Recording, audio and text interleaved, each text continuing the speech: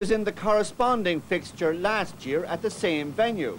That key Galway forward Joe Rabbitte took a blow to the head, an injury that threatened to bring about a premature end to his career.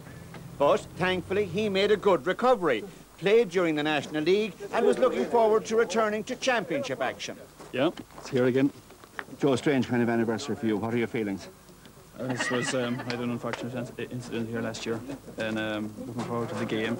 Hoping that well, Roscommon uh, have lads back from injury, and they're, they're going to put up a good show. We expect this year, you know. So um, hopefully we'll get away and get get through the game without any more injuries. Sadly, the fallout from last year meant there was a crowd of only 1,000.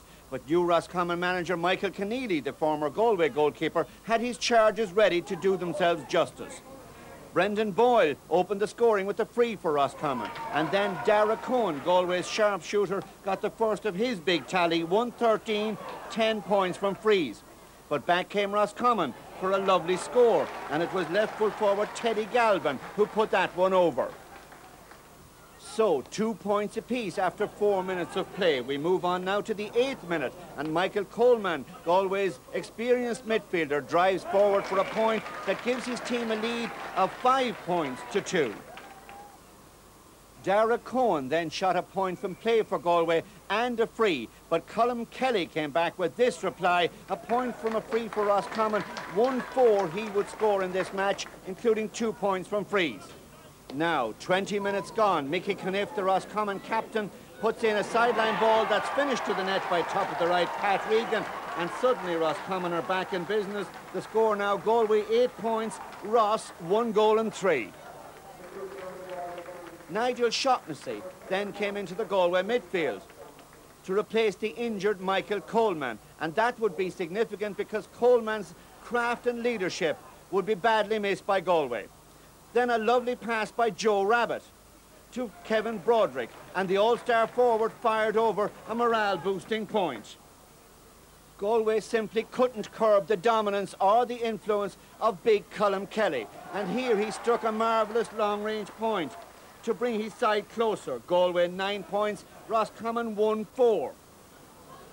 Back came Galway, and from a good ball by Kevin Broderick and a lovely pass by Joe Rabbitte, Alan Kerins finished to the net, left-handed from close range.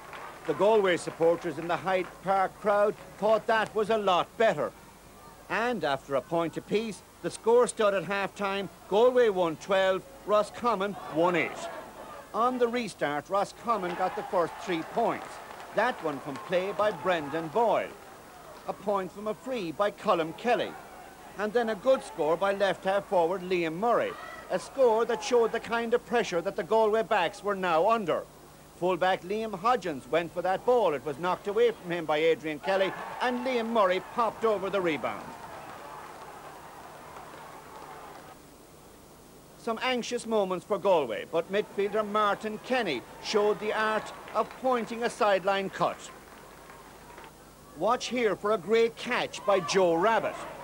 A good layoff to Alan Kerins, a good run by Alan Kerins. Here he has to improvise, does so very cleverly, and Dara Cohen finishes the ball to the Roscommon net.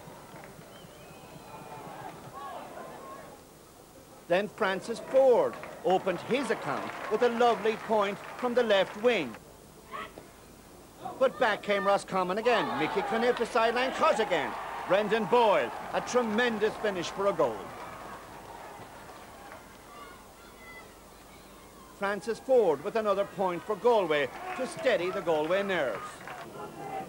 Michael Conneely was asking his men to push forward.